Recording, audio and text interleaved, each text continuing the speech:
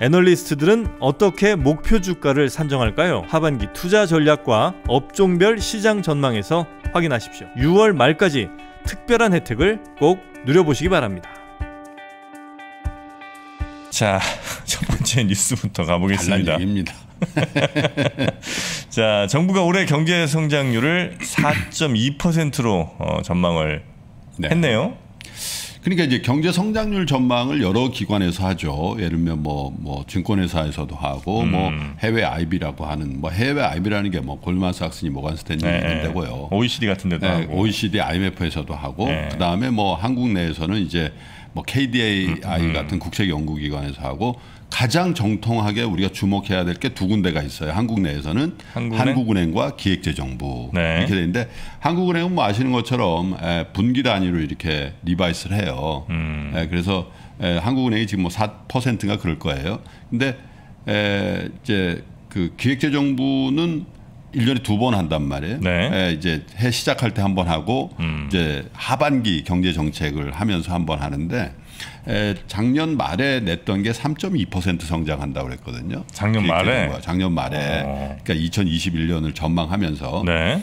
근데 그때도 3.2% 전망할 때 어유 이거 할 수 있겠어 이런 얘기들이 많이 있었어요. 왜냐하면 기획재정부는 어떤 위치냐면 경제 정책의 주체죠. 네. 경제 경제 정책을 다 입안해 가지고 이렇게 끌고 나가는 주체란 말이에요. 그 주체라는 건 우리가 회사에서도 보면 자 연간 우리 저 영업 계획 한번 해봅시다. 기획 담당 상무 계획 짜오세요. 그러면 기획 담당 상무가 뭐 다른 영업 조직이나 이런 거 다 해가지고 뭐 비용도 다 체크해가지고 대표이사나 뭐뭐 예를 들면 주주들한테 보고할 때 아 되게 보수적으로 하잖아. 그러면 진짜 시체말 때 날아가는 수가 있어요. 그러면 이제 그러지 공격적인 옛날에 정주영 회장 같은 이런 양반들이 야 그게 지금 계획이냐? 나는 안 되네. 한번 해봐. 그게 계획이야 임마. 다시 써와. 야 뭐든지 이 사람들아 좀 진취적으로 해야 될 거 아니야? 이런 얘기를 많이 듣는단 말이야. 그러니까 기획재정부의 딱 그 역할이거든. 네, 그러니까 네.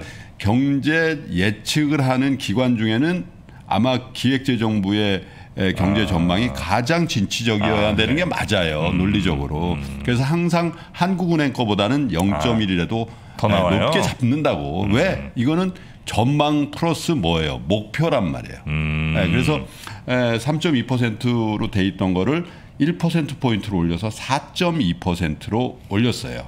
예. 그러면서 이제 한국은행보다 이제 높은 성장. 근데 그 이유가 뭐냐? 아, 수출 잘 된다는 거예요. 수출. 네네. 뭐 우리가 맨날 뭐 그 월간 수출을 아, 46%뭐 늘었습니다. 기록 경신한다 뭐 그렇죠. 예. 예, 그게 이제 어쨌든 이 경제 성장률도 전년 동기 대비로 하는 거니까요.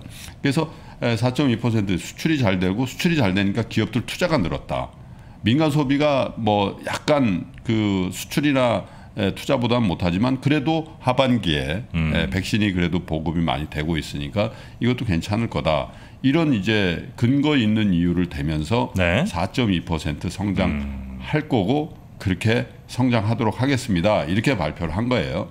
그래서 이제 수출 수입이 굉장히 이제 우리 경제에 그 의미 있는 진전을 주고 있는데 통관 기준으로 에, 수출액이 18.5% 상승한 에, 연간 에, 저 상반월로 보면 6,075억 달러, 수입액이 22.4% 5,725억 달러. 그래서 수출입 모두 반기로는 에, 역대 최고 어, 네. 실적을 보였다 이런 얘기가 되는 거잖아요. 그래서 어쨌든 그 올해 경상 주식자도 770. 아 지금 얘기가 이제 연간으로 통계를 이제 낸 거군요. 반기가 아니라. 그래서 어쨌든 에, 이 수출을 수출의 호조를 이제 기반으로 해서 에, 하다 보니까 그리고 이제 수출이라는 게 네. 전에는 일부 품목에 반도체 착시라는 용어를 많이. 일부 음, 근데 사실은. 그렇죠. 반도체가 수출이 잘 되는 거는 고용 유발효가 별로 없어요. 네네네. 반도체 경기 좋다고 해서 뭐 삼성전자 기흥 뭐 평택에서 야 구인 광고 막 내가지고 뭐 몇만 명씩 뽑고 그런 거 아니잖아요. 네. 실제로. 근데 이제 수출이 잘 되면서 고용을 유발하는 산업이 뭐냐면 대표적인 게 조선 같은 겁니다. 조선. 예. 조선소 가시면은 그거 다 다 사람이 하는 거예요. 그렇죠. 기계 예. 하는 게 없어요. 다 사람이 용접하죠. 그래서 뭐 큰 크레인 위- 위에서 달려가지고 막 이 땡볕에 그잖아요. 네. 예, 그리- 그런 뭐 자동차라든지 자동차. 그죠. 이런 류의 어떤 비교적 이 중후장대 산업의 수출이 호조가 되면서 에, 비교적 고용도 에, 좋아지고 있다 이런 얘기인데 정부가 올해 취업자 수가 25만 명 증가해 지난해 감소분 22만 명을 에, 회복한다라고 이게 봤어요. 그리고 고용률이라는 게 있는데 이게 15세에서 64세 사이에 66.4%를 예상했다. 이것도 굉장히 좋아진 거죠. 그리고 어쨌든 그러면 올해는 4.2% 성장하는데 문제는 그러면 에, 이게 기저 효과가 상당히 있는 거 아니냐. 어쨌든 우리가 그렇겠죠. OECD에서는 예. 에, 가장 양호했지만 어쨌든 작년에 마이너스 친 거잖아요. 음, 그래서 기저 효과 그래서 이제 내년은 어떻게 되냐. 네. 이제 내년은 이제 역기저 효과가 있는 거죠. 왜냐하면 네. 4.2%니까. 올해 좋았으니까. 예, 그래서 내년 성장률도 3.0%될 거다. 괜찮네요. 예. 만약에 이게 기획 재정부 어, 어떤 말대로만 되면. 예상대로만 네. 된다면은 우리는 최근 들어서 그 가져왔던 에, 경제 성장률의 추세적인 하락세 거기다가 에, 코로나 위기가 아닐 때도 1% 내지 2% 성장 그 정도밖에 못했거든요. 네. 에, 그런데 이제 만약에 에, 올해 4.2하고 내년에 3%를 했다. 그거는 이제 경제 에, 성장이란 측면에서 추세 반전을 노릴 수 있는 음. 모멘텀이. 근데 어떤 의미에서 보면 이제 코로나가 어떻게 보면 우리 경제에게 그런 기회를 줬다 이렇게 생각할 수도 있고 물론 이제 자영업 하시는 분들이라든지 소상공인 또 요식업 서비스 하는 분들이 너무 굉장히 힘들지만, 고통받았죠. 네. 굉장히 고통받았죠. 예, 그래서 에, 경제 어떤 이큰 괴리를 보여주고 있습니다만은 나라 경제 전반적으로 보면은 에, 어떤 에, 우리가 항상 얘기합니다만은 글로벌 리스타킹이 이어지면서 제조업이 강한 나라가 좋은 상황 이런 것들이 이제 2020년 하반기부터 2021년 연간 계속되고 있다. 물론 에, 어제 에, 인터뷰를 많이 한 분이 이제 뭐 이호건 경제 기획, 기획, 에, 기획재정부 제1차관이 언론에 나와서 이제 그런 얘기를 한 인터뷰를 하는 거 봤는데 그럼에도 불구하고 이 코로나 19가 웬만하다는 전제를 달아서 하는 겁니다. 이런 얘기를 하더라고요. 그래서 네. 아니, 그거는 그럴 겁니다. 우리나라뿐만 아니라 지금 또 변이 변종 바이러스가 이제 뭐 다시. 굉장히 그 한다는 그런 두려움 같은 것들이 있기 때문에 네. 이제 그런 것들만 에, 큰 일이 없는 한 에, 4%대는 칠 것 같아요. 음. 한국은행과 기획재정부 예상이 맞아 돌아가지 않겠나 이런 생각이 에, 드는데 여러 가지 이제 해외 쪽의 어떤 변수 그리고 또 한 가지가 이제 미국의 금리 변수가 있다라는 얘기를 해요. 미국의 금리. 예. 미국 금리가 이제 많아지게 그렇죠, 되면 그렇죠. 이제 달러 강세가 되고 지금처럼 에, 어떻게 보면 에, 우리나라의 좋은 조건이 아닌 상황으로 갈 수 있고 또 하나는 하반기에 에, 비교적 아마 그런 걸 그, 생각을 할, 때- 할 겁니다만은 에, 상반기까지는 제조업 경기가 끌었죠. 왜냐하면 제조업 소비가 늘어서 좋아진 경기니까. 네, 네. 근데 이제 하반기로 갈수록 백신이 보급된다 하더라도 서비스 경기가 좋아진단 말이에요. 음, 그죠? 그러면 우리한테 네네. 돌아오는 떡이 그만큼 줄는 거죠. 그렇죠. 예. 막 외국 사람들 우리나라에 오는 건 아니잖아요. 음. 그 자체 나라에서 예, 서비스 수요가 는다는 건 우리의 어떤 수출에는 그렇게 도움이 안 되는 그런 환경의 변화가 아마도 예, 하반기 경제 예, 성장률을 담보해내는데 굉장히 중요한 변수가 될 것으로 보입니다. 네. 자, 금리가 좀 변수로 있는 우리의 성장률 저희가 계속해서 지켜보도록 하겠습니다. 자, 그리고 두 번째 뉴스는 어, 어제도 잠깐 뭐 IPO 얘기가 좀 나오긴 했습니다만 카카오뱅크 뭐 크래프톤, 어, LG 네. 에너지 솔루션 이런 역대급 IPO들이 지금 줄줄이 예상돼 있는데 네. 지금 이- 이제 6월 말이니까요. 상반기 1월부터 6월까지 IPO 시장이 어느 정도냐 이렇게 보니까 5조 원을 넘어섰는데 이게 작년 1년치를 넘어선 겁니다. 그러니까 기업들이 증권 시장에서 IPO, IPO라는 건 뭐 initial public offering이라는 거잖아요. 그러니까 음. 사실은 어제도 누가 그런 얘기를 하던데 구주를 파는 경우도 있고 신주를 발행하는 경우도 있거든요. 그러니까 이게 사실 기업들이 증권 시장에서 개인 투자자, 기관 투자자한테 돈을 빨아가는 거란 말이에요. 이게. 네. 근데 그 규모가 이제 5조 원을 넘어섰다라는 거죠. 그래서 작년에 연간 IPO 규모가 4조 5,426억 원이었어요. 지난해 연간 작년에 연간 네. 일 1, 월부터 12월까지 보면 아 근데 작년에 뭐 우리도 기억나지만 대여급들 엄청 많았잖아요. SK 바이오 그 사이언스도 있었고. 연간 규모라는 게 네. IPO를 해갖고 네. 발행한 주식을 판 금액 그렇죠. 그거 이제 기업 입장에서 보면 조달 금액이 되는 네, 조달 거죠. 금액. 아, 음. 근데 야 그렇게 작년에도 엄청난 대여급들이 많았다고 생각했는데. 5조밖에 안 돼요? 네. 아 그래요? 아, 경쟁률이 뭐 70조가 몰리고 이런 아, 뭐 거는 그렇긴 한데. 그뭐몇 천 대 일 이렇게 되다 보니까 이렇게 된 거고. 아. 그래서 에, 작년에 4조 5,426억을 갖고 왔는데 벌써 올해 상반기에만 5조 6,167억 원을 기록해서 근데 이제 문제는 이제 하반기에 그 대여급들이 굉장히 에, 더 많이 이제 기다리고 있잖아요. LG 화학의 배터리 자회사 LG 에너지 솔루션 음. 이것만 공모 규모가 10조예요, 10조. 네, 그래서 역대 최대 IPO. 대한민국 주식시장 역대 최고. 아 그래요? 네. 아 거기다가 이제 카카오뱅크 있죠, 카카오페이들 있죠. 네, 그리고 현대중공업도 있단 말이에요. 그래서 하반기에 이런 것들이 이제 된다, 뭐, 된다, 다 된다라고 하면은 그 크래프톤 또 있잖아요. 네. 그래서 에, 연간 예상 IPO 규모가 30조 원에 달해서 역대 최대였던 게 2010년에 10조 907억 원이거든요. 네. 그러니까 만약에 이 예상이 맞으면 와 이건 있어도 진짜 앞 향후에 이런 일이 있을까 할 정도 30조. 네. 아 그럼 돈이 너무 많이 글로 가겠네, 그죠? 네, 그게 좀 걱정이죠. 왜냐면 예, 대대로 보면은 물론 이 증시가 화랑이고 개인 투자자들의 시장 참여가 워낙에 활발하기 때문에 이런 IPO 시장에 여건이 만들어졌다 이렇게 볼 수도 있지만 거꾸로 보면 이제 야 이게 이렇게 많이 돈을 갖고 가면 예?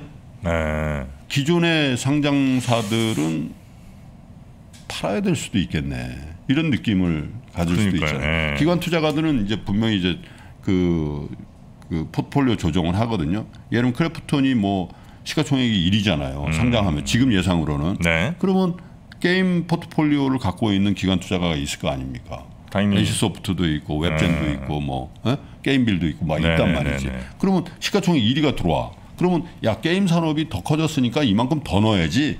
이렇게 생각할 수도 있지만 다른 거 살짝 줄여가지고 요거 사야지 이런 음. 사람들도 있단 말이죠.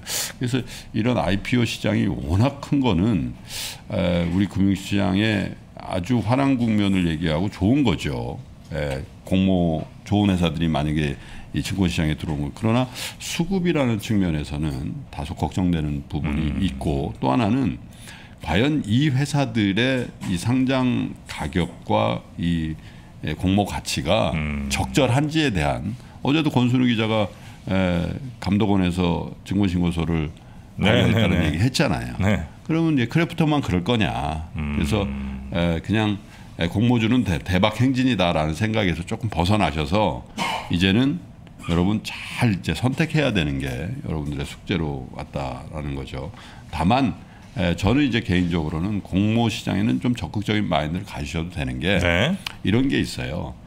우리나라 공모 제도는 수요 예측이라는 제도가 있거든요. 네. 수요 예측이라는 하면 기관 투자가들이 이, 에, 이 공모 가격에 대해서 어떤 태도를 보이는가 이걸 이제 미리 에, 기관 투자가 먼저 하는 거예요. 네. 그럼 이제 기관 투자가들의 어떤 경쟁률이나 이걸 보고 일종의 힌트 노트를 우리가 받는 거란 말이에요. 그리고 에, 지금 제도상 보면 공목 그 뭡니까 그 주관사가 어쨌든 그 증권신고서를 작성할 때 계속해서 이 그 고객들을 보호하, 보호하게끔 뭔가 자- 장치가 돼 있기 때문에 네, 네. 유통시장보다는 공급 가격이 합리적으로 가격 결정이 될 수밖에 없는 그런 구조로 가긴 갑니다. 음. 그런데 어쨌든 에, 너무 큰 물량들이 나오다 보니까 네. 에, 고평가 논란에다가 증시에 부정적인 영향을 줄 수 있다.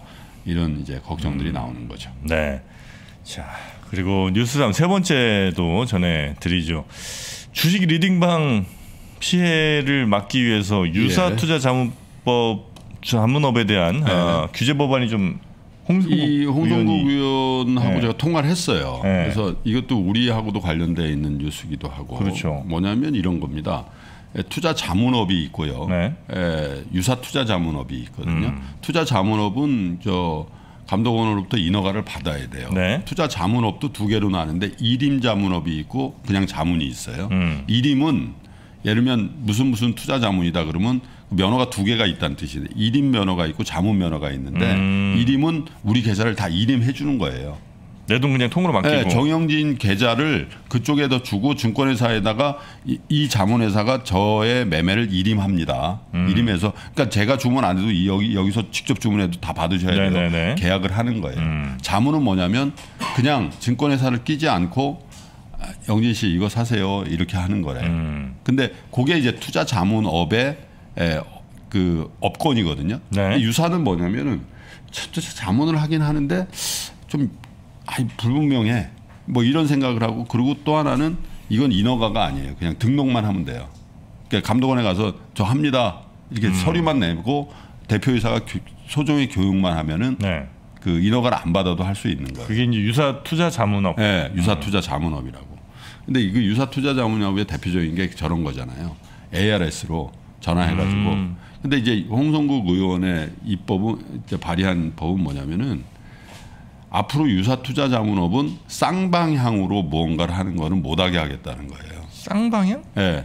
그러니까 아, 예, 내가 뭐 물어보면 그거 예, 알려주고 그렇죠. 그거는 아. 정식 투자 자문 업자만 하게끔 네. 하겠다는 거예요. 왜냐하면 최근 들어 리딩방이다 뭐 이런 게 너무 많이 많으니까 네. 이게 장이 만약에 조정을 받고 그러면 이게 문제가 생기겠네 이렇게 이제 생각했다라는 거잖아요. 그리고 이제 에, 유튜브 유튜브라든지 디지털 콘텐츠를 앞세워 가지고 뭐 콘텐츠를 만들고 그 다음에 또 그 백단에서 이게 유사 투자 자문업을 해서 돈을 받는 경우가 많이 있나 봐요. 음. 네네네. 근데 그런 것들이 이제 피해를 볼 수 있다. 이제 그래서 에, 업계 출신이잖아요. 홍성국 의원이 에, 대우증권 사장을 하고 그러니까 이제 에, 몇몇이 그런 얘기를 했겠지. 의원님 이거 문제입니다. 뭐 그렇게 됐는지 모르겠습니다만은 어쨌든 에, 이런 의원 법안을 이제 발의를 했길래 에, 통화를 한번 했어요. 음. 그래서 에, 제가 제가 말씀드린 건 뭐냐면은 아 건전한 예, 자본시장을 위해서 이렇게 하는 거는 괜찮은데 에, 어떻게 보면 이 잘못도 해석이 되면은 저희처럼 에, 그런 걸 하지 않는 음. 에, 유튜브 그냥 우리는 컨텐츠만 제공하는 거잖아요 네네네. 무료로 에, 그런 데들까지 아, 위축될 에, 수 있다. 위축될 수도 있도록은 하지 않았으면 좋겠다. 왜냐하면 이게 사실 에, 어떻게 보면 기관 투자가 애널리스트 업체 담당자로 딱 그 한정돼 있던 정보의 유통을 디지털 콘텐츠가 혁명적으로 음. 바꿨죠. 에, 바꾼 거 아니겠습니까? 그래서 에, 리딩방이라든지 뭐 진짜 불법적인 어떤 에, 그런 에, 일들을 하는 데들은 뭐 시장에 못 들어오게 제약하는 음. 건 좋은데 에, 이 건전한 에, 어떤 정보의 유통이라든지 이런 것들은 좀 잘 보장하는 에, 그런 에, 법 취지를 좀 잘 살려줬으면 좋겠다 그렇게 얘기를 하고 아 당연히 그렇죠 이렇게 얘기를 하더라고요. 네. 네. 자, 그래서 그 법안이 발의가 됐으니까 이게 또 아, 국회에서 또 어떻게 처리되는지도 한번 네. 음, 봐야 되겠네요. 자, 그러면 뉴스 3은 이 정도로 오늘 정리를 하고요. 이제 아, 박병창 부장님과 함께 미국 시장 마감 상황 그리고 오늘 우리 장 이야기도 한번 같이 우리 들어보도록 하겠습니다. 잠시 전한 말씀 얼른 듣고 와서요. 교보증권 박병창 부장 만나러 가겠습니다. 나는 가치 투자자인데 기술적 분석까지 알아야 될까? 기술적 분석 좀 중요한 것 같긴 한데 배우기가 좀 어렵지 않을까? 2021년도 3프로TV 주식대학 여름학기 교보증권 박병창 부장이 쓴 매매 기술 이 책에서는 직접 알려드리기 좀 어려웠던 실제 매매 상황을 강의 영상에 담았습니다. 가치 투자자라도 꼭 알아야 하는 가치 투자자일수록 꼭 알아야 되는 차트 해석법 자세한 사항은 페이지2 앱의 공지사항을 확인하세요.